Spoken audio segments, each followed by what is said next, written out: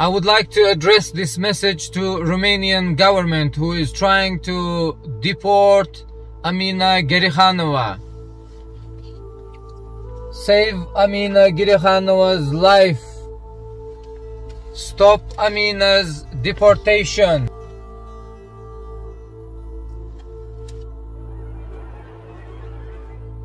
It is impossible on 21st century.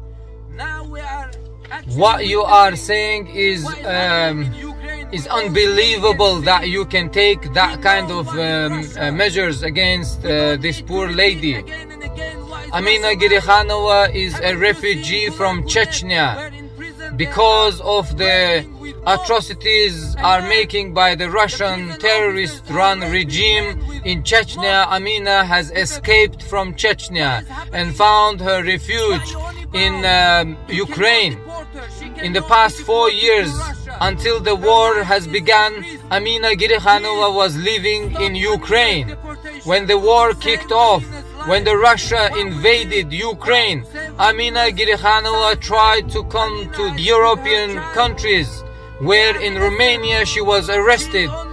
And uh, because she is uh, on Interpol line. Russia in Russian Interpol line. Russia should not be in Interpol line in first place.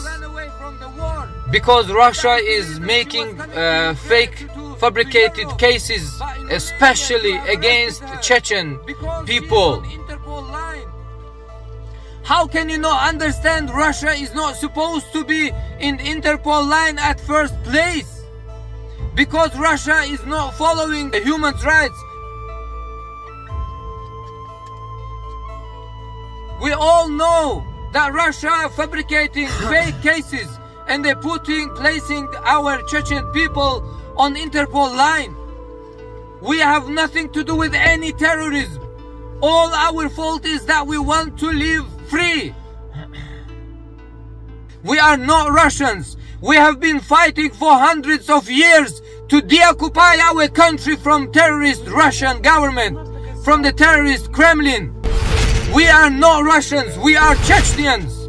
They are making fake, fabricated cases against us. And Amina is not the first one. We have so many people like this. They are blaming them and putting to prisons and torturing to death. We want to save Amina Gerikhanova. Stop Amina's deportation. Save Amina's life.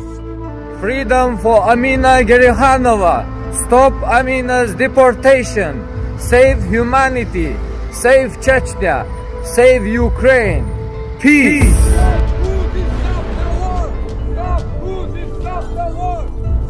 Putin, stop the war!